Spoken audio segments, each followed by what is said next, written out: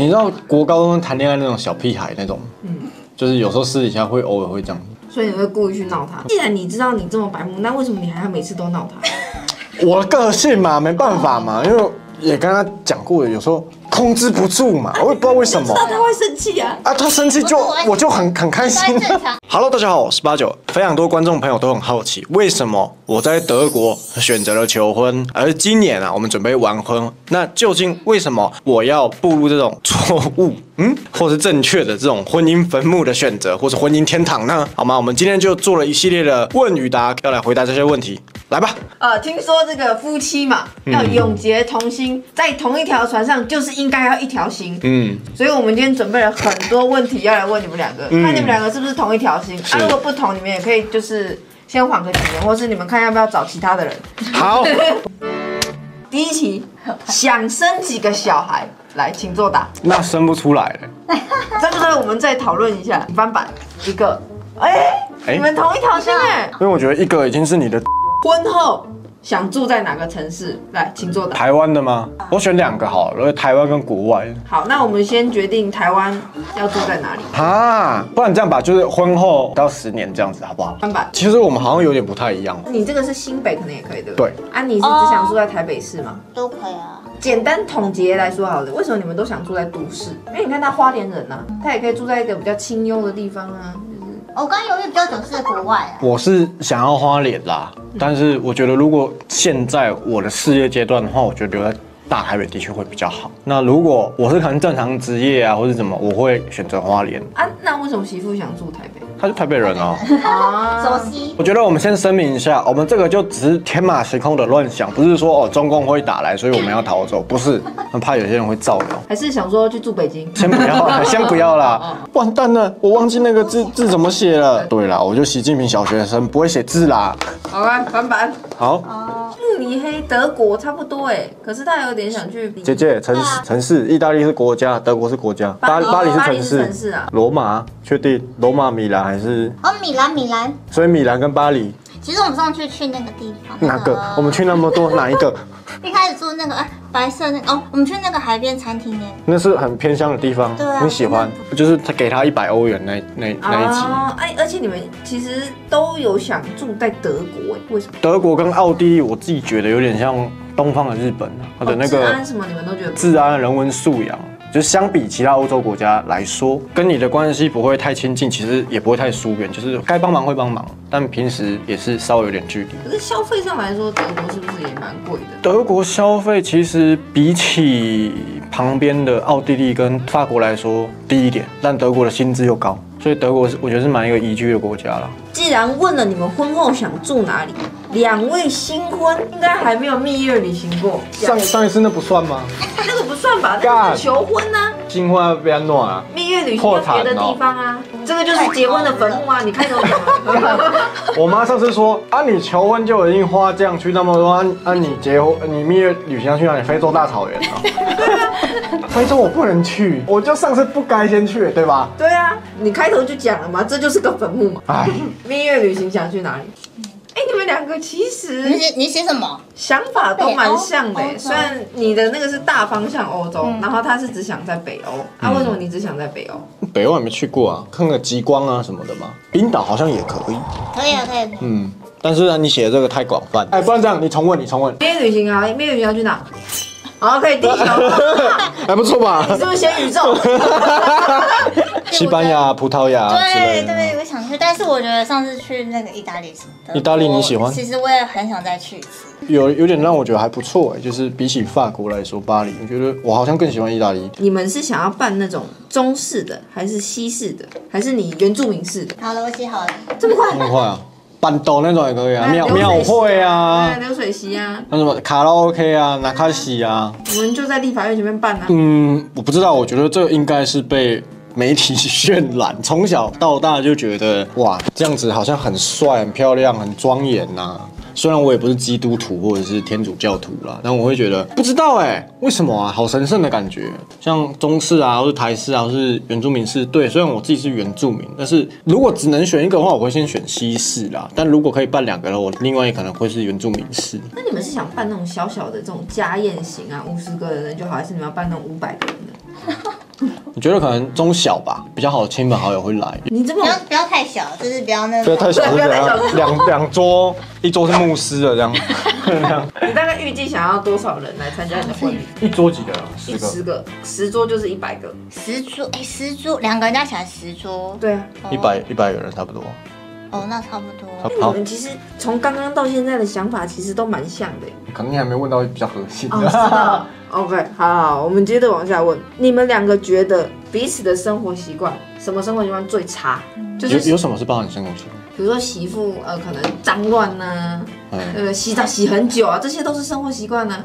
喜欢讲电话啊，拔你电动插头啊，把我的呼吸氧气罩对啊啊，，这种都算呢。偷嗯，偷把你买那个北京机票啊，靠腰都哦，算。然后这人是死性不改这样。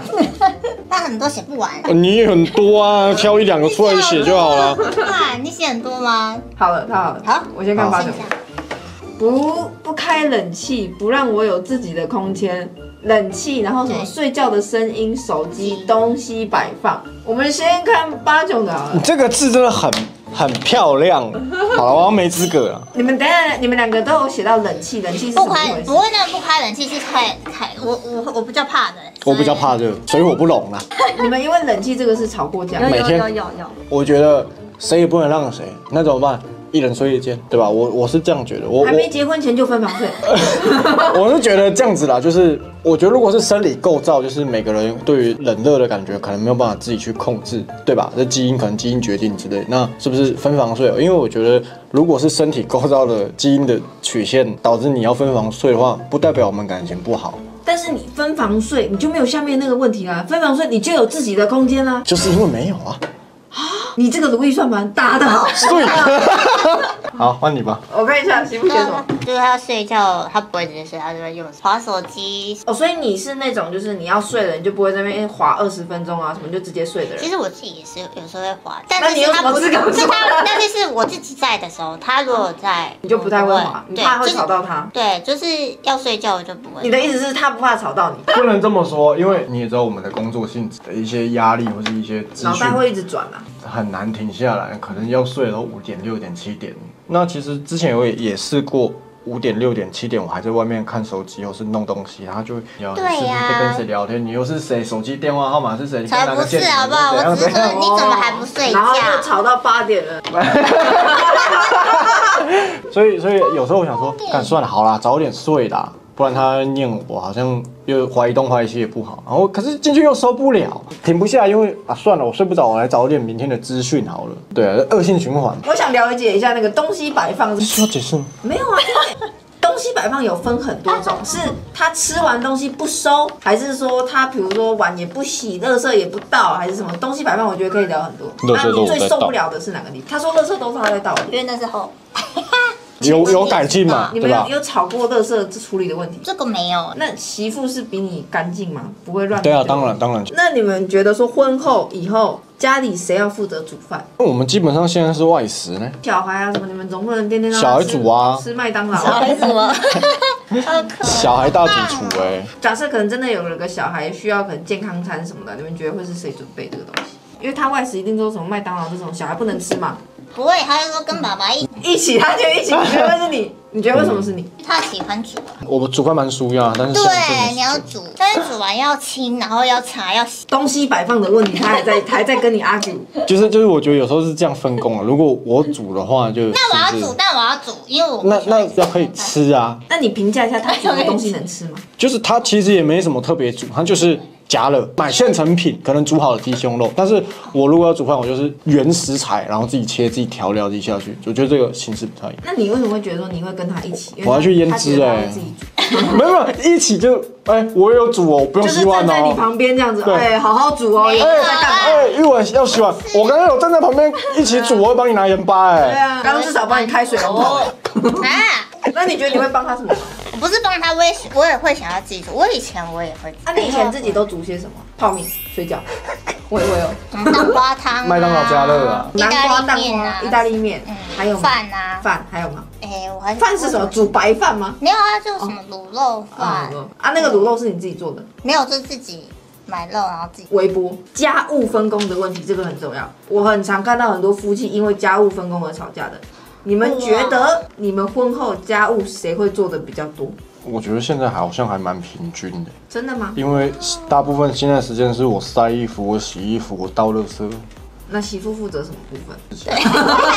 监督啦、监 那为什么工你监察院啦。因为我说家务分工是平均，平均的话他应该也有做点什么，在你印象中有做点什么？可能我目前还想不到了。你不做就我做了，你买一些生活材料吧，可能沐浴乳、洗发精、洗面乳膜啊，去买卫生纸没有？采购是对媳妇负责啊，洗衣服一直都是八九负责，最近是我啦以前是你洗当然喽。哦啊，最近为什么换成你？啊，因为我可能比较晚睡了，哦也比较晚洗澡嘛，啊当然就我洗。你们洗澡有吵过架吗？就是谁先洗这种问题？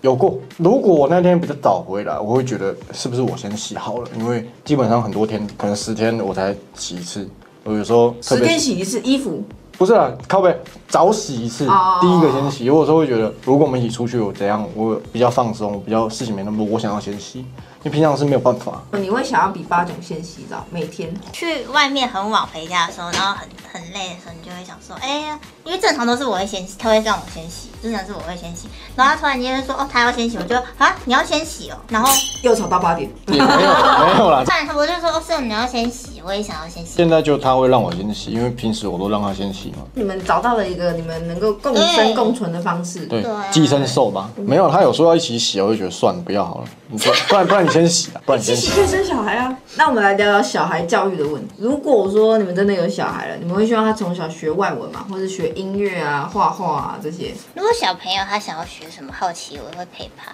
会陪他。陪他一起学。如果我本身我就会了，我就会哎、可以指导他。如果我本身我不会画画画之类的啊，哎、不是啊，基本的一二三数学加减法，哎我 A B C D 是 OK 的对啦啊，你怎么这么瞧不起人家？没有，不是我的意思是说，小朋友刚出生出来，他什么都不懂的话，当然我会的，我就可以指导他。可是他如果越来越厉害，我觉得反而是我可以跟他一起学习。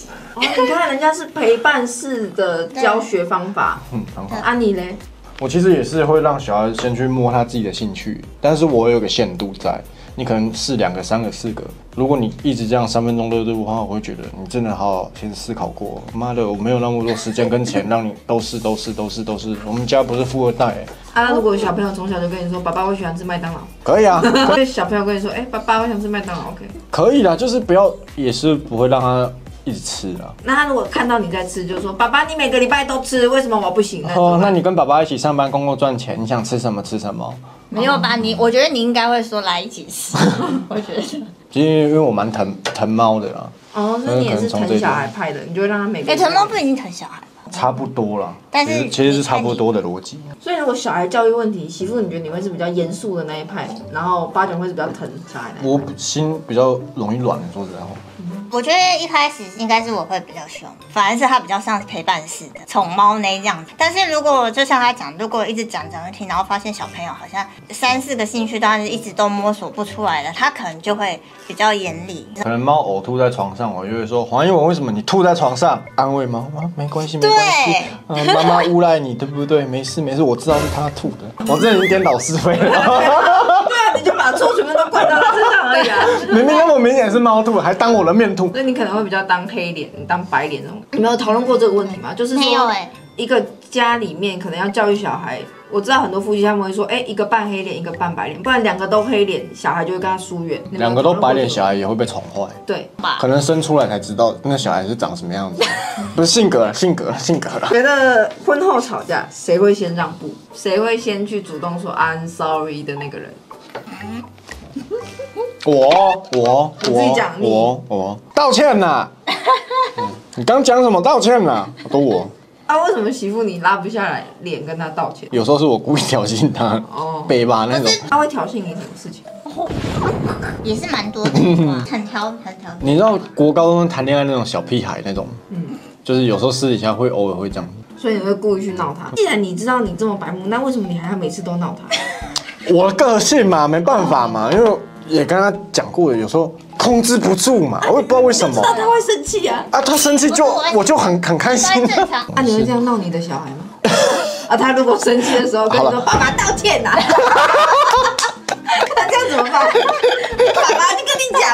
我要写功课，你一直在闹我。那你小孩肯定也会这样叫你道歉。没有啦，等 到时候生出来再看。我小孩有这样，我再跟你讲。来公司看到我员工，也叫我员工道歉。然后靠背，他就隔天去那个学校有没有？然后老师问他为什么作业没写，昨天我爸一直闹我啊。道歉呐！我也替死鬼嘞，我一定是我跟小孩去闹妈妈，可能小孩就会端水，妈妈你喝，但小孩的高度可能就只能勾到马桶里面的水。对，好了，不会不会那么过分，就诸如此类这样的事情。